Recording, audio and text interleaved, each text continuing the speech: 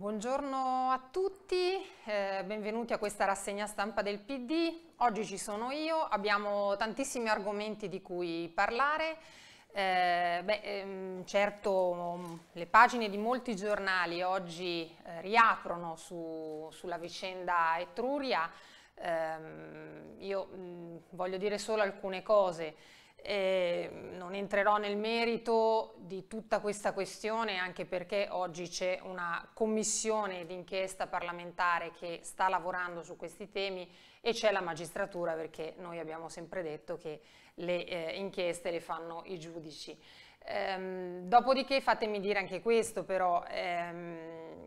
insomma... Mh, mi pare che ecco, anche in questo caso si tratti un po' di una, di una, montatura, comunque noi siamo dalla parte del tempo e ecco, il tempo, come dice sempre il segretario, sarà galantuomo e la verità verrà fuori. Voglio però precisare alcuni punti che mi sembrano fondamentali in tutta questa vicenda. Punto numero uno, eh, è stato il Partito Democratico a volere la commissione d'inchiesta sulle banche che sta lavorando e che sta, ehm, insomma, che, che sta anche eh, facendo venire a galla alcune realtà. Eh,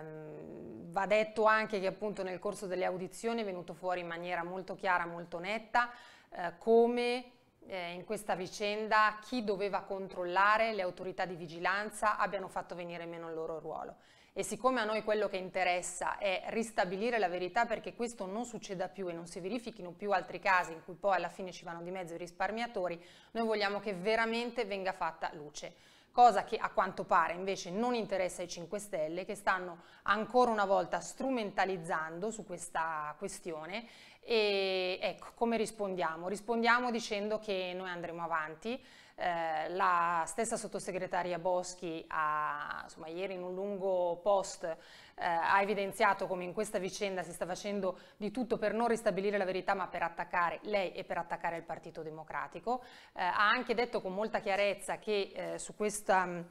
questione chiederà il risarcimento eh, per, per chi dice il falso e noi andiamo avanti con molta determinazione, con molta serenità, chi ha sbagliato ha pagato e pagherà in futuro. Detto questo, andiamo invece sulle questioni che vi dicevo prima, sono tante oggi sui giornali eh, e che mm, è interessante approfondire insieme. Eh, beh, sicuramente se vogliamo rimanere sul tema diciamo, della, della, della, politica interna, eh, io partirei proprio da Repubblica.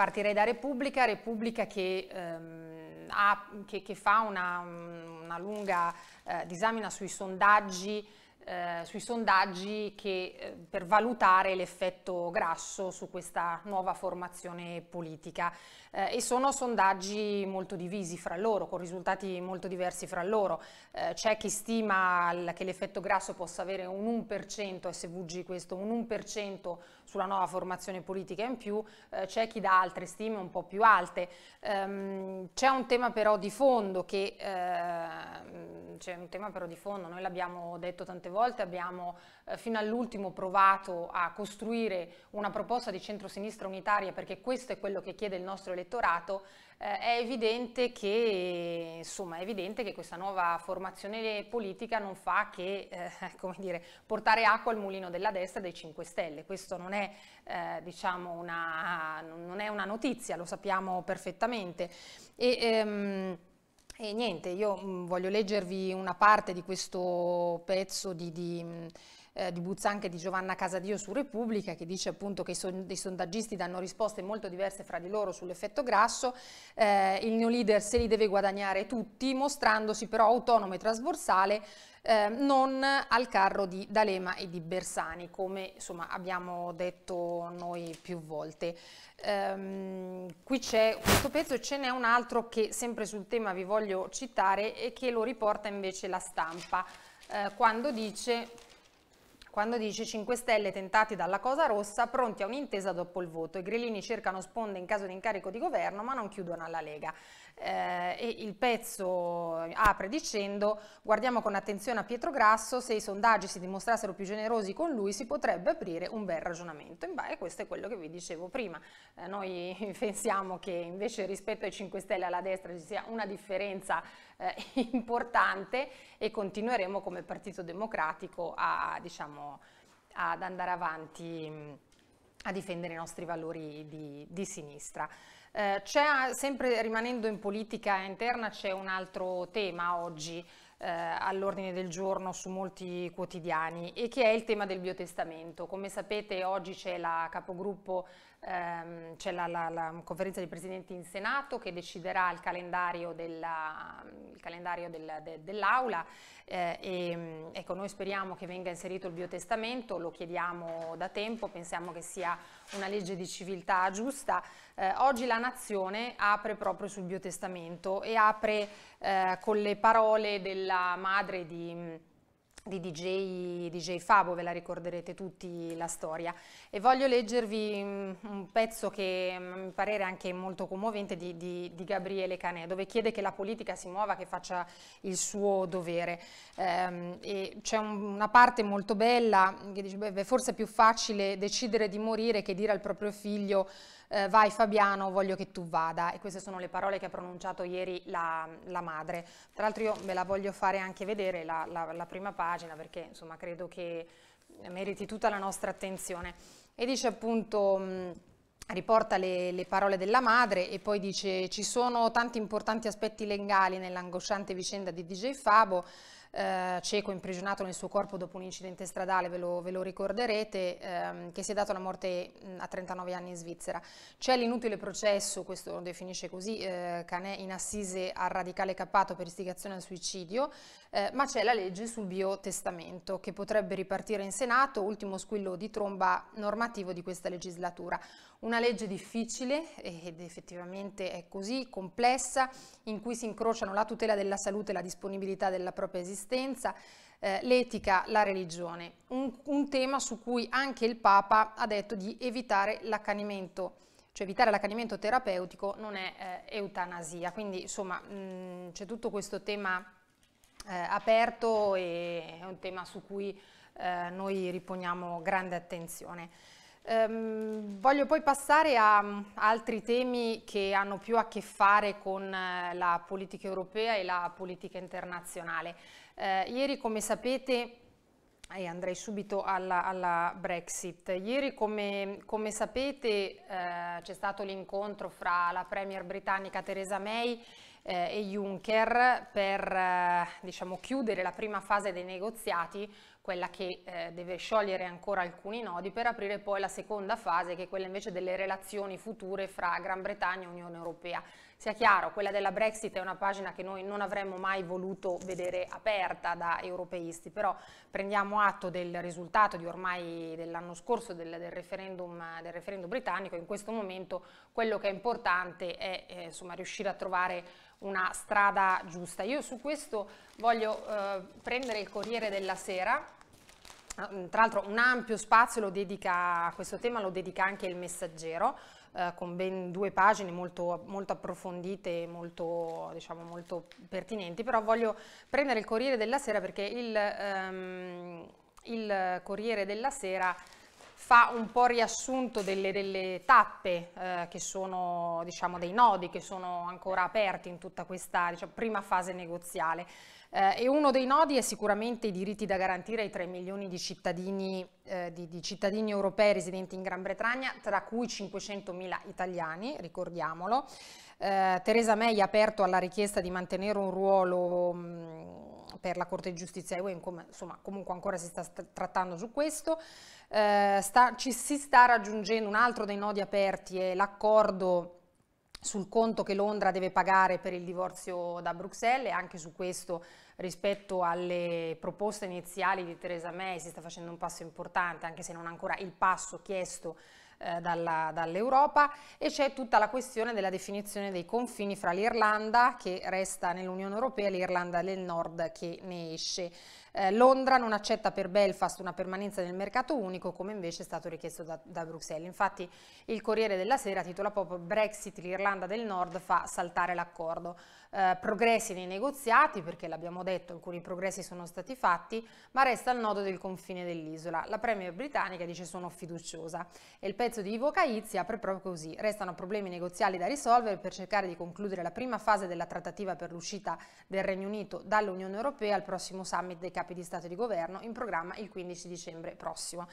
e noi insomma ci eh, aspettiamo e attendiamo che eh, questa prima fase negoziale si concluda perché come dicevo prima eh, è fondamentale che si apra la seconda fase che è la fase dei rapporti futuri fra proprio la Gran Bretagna e l'Unione, Europea e quindi le condizioni nelle quali la Gran Bretagna può restare all'interno del, del mercato unico. Eh, c'è poi tutto un altro mh, mm, tema che, a cui non è dato un grandissimo spazio sui giornali, devo dire, ma che eh, insomma, a mio parere è molto importante e che è la nomina del nuovo presidente dell'Eurogruppo che va a sostituire Dijsselbloem che ehm, insomma, in, in, Italia è noto per le sue frasi, in Italia non solo, è noto per le sue frasi abbastanza diciamo, irriverenti nei confronti del nostro paese, non solo, cioè che noi spendiamo i soldi in eh, donne non mi ricordo in che cosa. Eh, bene, allora la pagina Dijsselbloem si chiude, si chiuderà a gennaio, però ieri è stato nominato, è stato eletto il successore, che è Centeno, che è un portoghese, eh, un portoghese socialista, perché c'era anche insomma, questo ordine di problemi, cioè garantire ai socialisti almeno la presidenza di uno dei più importanti vertici delle istituzioni europee, che oggi sono tutte in mano ai popolari, a partire dal Parlamento europeo, la Commissione europea, il Consiglio. Il consiglio. E, ehm, e, quindi ecco, la nomina di Centeno però non è importante solo perché è un socialista, eh, è importante perché finalmente ci auguriamo che si possa fare un passo in avanti rispetto alle politiche dell'austerity che tanto in Europa stiamo combattendo. E eh, su questo io voglio prendervi eh, sempre Repubblica, sempre Repubblica, adesso la, ehm, la prendiamo, sempre Repubblica che è quella che di fatto, eh, quella che di fatto dedica più attenzione a questo, a questo tema, anche se insomma, l'attenzione che gli dedica è a pagina 28. Ehm, e, e, vi leggo proprio l'Eurogruppo svolta a sinistra, arriva l'anti-austerity Centeno e il pezzo del corrispondente Alberto D'Argenio entra molto nel merito del racconto ieri su questa, su questa diciamo, nomina, su questa elezione e eh, parte attacca dicendo Mario Centeno, Centeno, nuovo presidente dell'Eurogruppo, il professore portoghese, ministro indipendente nel governo di sinistra di Antonio Costa, guiderà per due anni e mezzo il tavolo dei ministri, finanzi dei ministri finanziari della moneta unica. Eh, cercherò il consenso perché l'Europa persegue nel percorso di crescita e calo della disoccupazione. Eh, ieri infatti ha parlato, come prima dichiarazione, ha parlato di una crescita inclusiva per l'Europa, quindi non tagli e basta, una crescita che inglobi, che crescita appunto eh, inclusiva. Uh, quindi dicevo, mh, mm, percorso di crescita e calo della disoccupazione, affermata a caldo l'uomo che in due anni è stato capace di rilanciare l'economia di Lisbona, prostrata dal programma di austerità impostole proprio dall'Eurogruppo nel 2011, tenendo in equilibrio i conti, ma eh, anche evitando di tagliare l'impossibile. Insomma, un lavoro che gli ha fatto guadagnare il soprannome di Ronaldo dell'Ecofin,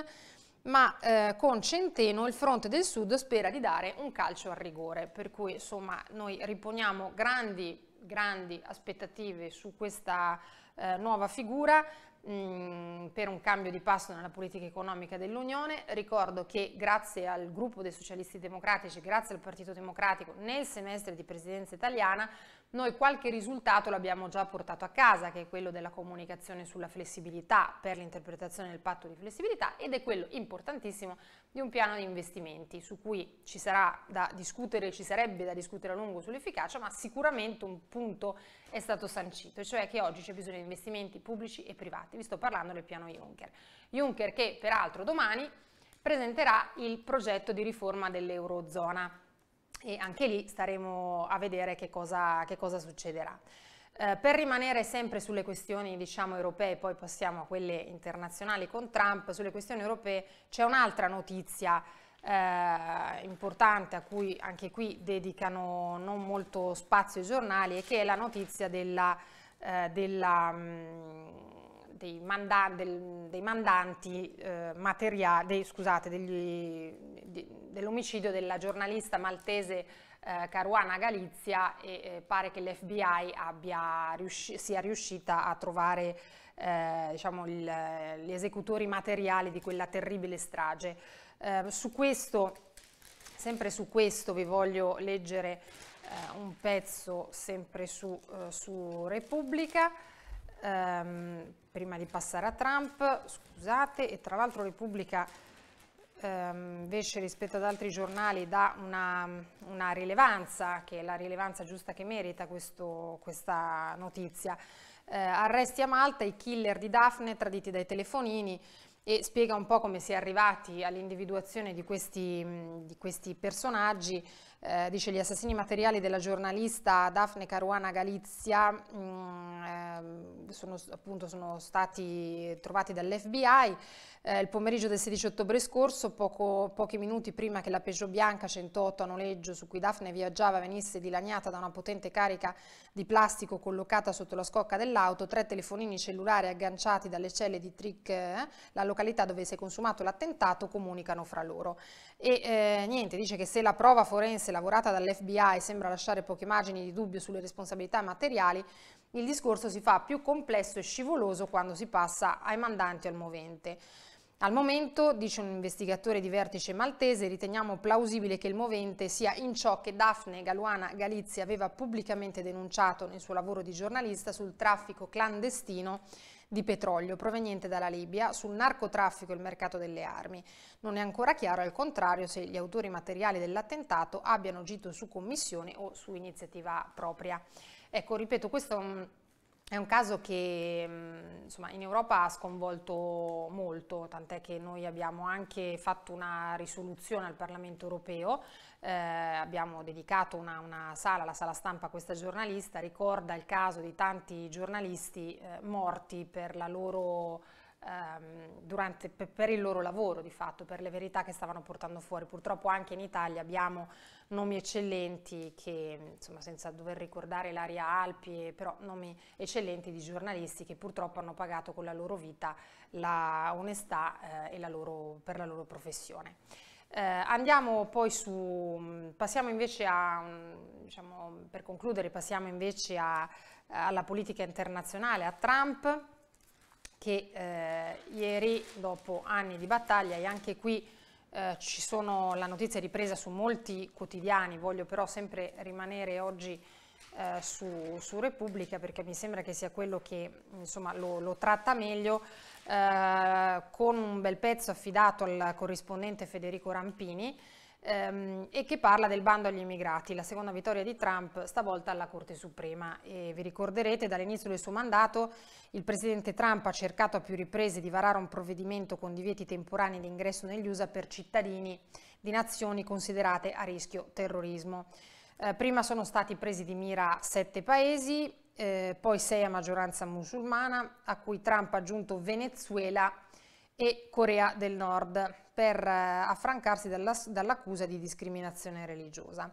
Eh, ieri c'è stato il via libera da parte della Corte Suprema e io vi voglio leggere proprio un, una parte del pezzo di Rampini in cui dice la Corte Suprema è il massimo organo della giustizia americana, ha deciso che Trump ha diritto di chiudere le frontiere ad alcune categorie di stranieri se ritenesse che sia necessario per tutelare la sicurezza dei cittadini.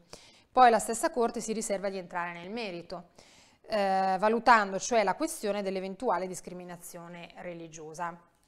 Ecco, questo mi sembrava che, che, fosse, che fosse, giusto, che fosse giusto eh, evidenziarlo. Eh, io ehm, vi saluto qui, vi voglio però ricordare l'appuntamento che eh, abbiamo tutti insieme il 9 di eh, il 9 di, di, dicembre a Como in seguito ai fatti che sono successi ehm, insomma, i fatti incresciosi che sono, che sono successi. Su questo prima di chiudervi vi voglio anche ricordare una bella intervista a Andrea Orlando, eh, sempre su, sempre su, su, su eh, sempre su Repubblica Oggi, scusatemi, adesso ve la, ve la trovo, eh, ve la trovo e la commentiamo velocemente insieme, eccola qua. Eh, Andrea Orlando, la legge consente già di sciogliere i gruppi neonazisti, poche, troppo poche le incriminazioni. Ed è un'intervista che entra nel merito del perché sono troppo poche le incriminazioni. Alla domanda precisa, eh, Ministro Orlando è favorevole allo scioglimento dei gruppi neofascisti e neonazisti? La risposta è sì, la normativa spinge già in quella direzione, quando ci sono messaggi che richiamano parole d'ordine del fascismo e per di più vengono veicolati con l'uso della forza e dell'intimidazione, deve intervenire lo scioglimento. Ehm, poi c'è un'altra domanda in fondo che viene, che viene fatta sempre al Ministro, l'appello di Repubblica per la messa al bando dei gruppi fascisti raccoglie l'adesione di partiti e associazioni, come procedere secondo lei? Dice la direzione giusta. Per fermare l'onda nera ci vuole uno schieramento largo e compatto che vada oltre la sinistra e oltre le distanze politiche fra i partiti. Ho apprezzato le parole di condanna di Maroni e di Bossi e ehm, l'adesione insomma, del, del, candidato alla presidenza della regione dei 5 Stelle. Quindi noi ci, vediamo, ci vedremo il 9, ci vedremo il 9 di dicembre a Como proprio perché insomma, vogliamo che si tenga alta eh, l'attenzione verso queste formazioni eh, che insomma, stanno ahimè aumentando di numero e noi non dobbiamo mai, mai, mai derogare ai nostri valori dell'antifascismo e della eh, libertà di, di opinione. E, ehm, eh, niente, io vi saluto qui, oggi peraltro il, ehm, il eh, viaggio del nostro segretario procede non sul treno, ma procede in uh, Sardegna e poi um, si concluderà in Sicilia. E in attesa di vedere sui social come questa trasferta in mezzo ai problemi veri della gente, ad ascoltare le persone, ad ascoltare le testimonianze, ecco in attesa di vedere sui social eh, bella, mm, come si svolgerà questa bella giornata, eh, vi aspetto il 9, eh, così come ci ha chiesto Walter Veltroni, noi saremo in tanti quel giorno. Grazie e buona giornata.